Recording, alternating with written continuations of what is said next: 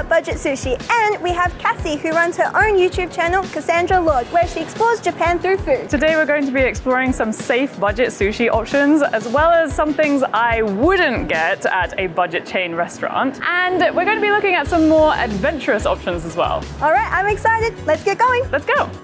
Today we'll be visiting four of our top picks for budget chain restaurants in Tokyo.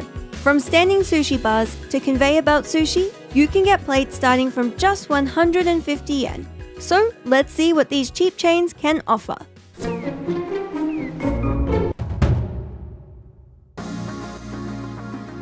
First up on our budget sushi chain list is the standing sushi bar Uogashi. So standing sushi is a good option for businessmen because it's a cheap and quick way to get your lunch. But for tourists, it's a good option because it's something that's a bit different. You probably haven't seen this where you're from, and you can see all of the sushi right in front of you and even see the chefs making the sushi. So they pass it to you over the counter. So today I've ordered some katsu and some unagi. So let's try it out. I love unagi. like, I love the sauce. It's always really sweet and it has a good texture to it. It's kind of soft. Yeah, it's just one of my favorite types of sushi, actually. like all the sushi chains on our list, Uogashi has an English menu. And don't forget about the complimentary green tea. Standing sushi bars usually only have space for around 10 customers, so they might be tricky if you're in a big group. So let's move on to our next recommendation, which larger groups can enjoy too.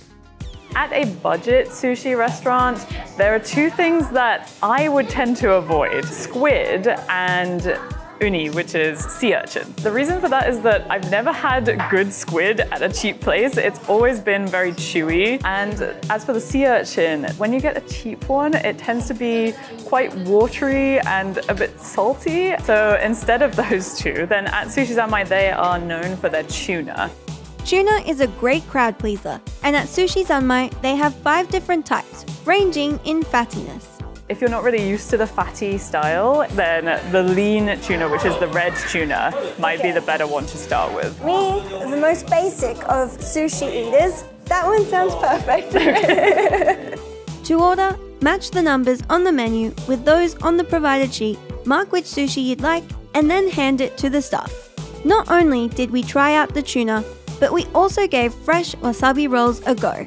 Usually the wasabi that you get in chain sushi restaurants is often going to be fake wasabi, which has horseradish in it and is very, very spicy.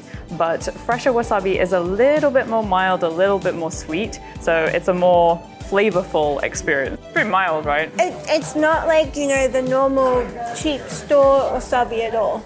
Literally, completely different. It's quite vegetal. That's kind of completely different. I'm kind of blown away. yeah, that's what fresh wasabi is meant to be like when you have a wasabi maki. It's supposed to be like kind of sweet like this.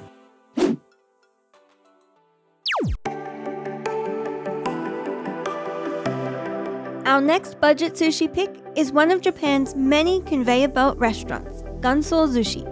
In Japan, there are loads of different types of conveyor belt sushi, but at most types, you can order your sushi, which I highly recommend because you don't know how long these have been going around on the belt, whereas if you order it, then they'll make it fresh for you.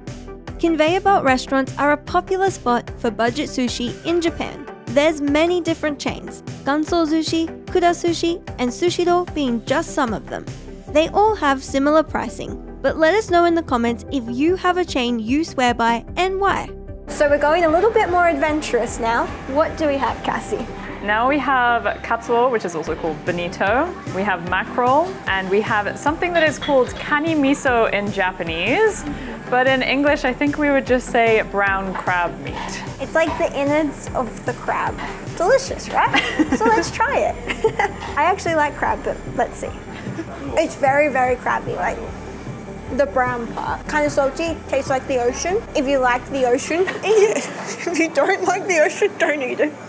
As for our other plates, Bonito is a good option if you're looking for something sustainable. If you're interested in knowing more about which seafood is more sustainable than others when dining on sushi in Japan, check out our sustainable sushi article.